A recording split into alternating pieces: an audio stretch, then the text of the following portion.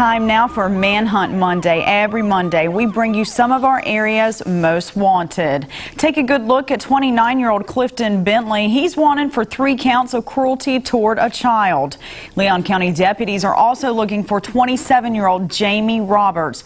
She's wanted for two counts of dealing in stolen property. If you have any information about either of these two suspects, call the Leon County Sheriff's Office at 850-606-3300.